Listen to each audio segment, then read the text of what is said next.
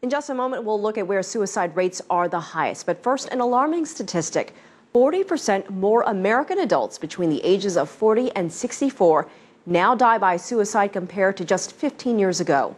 Suicide rates have risen overall in the past few years, prompting health experts to question why.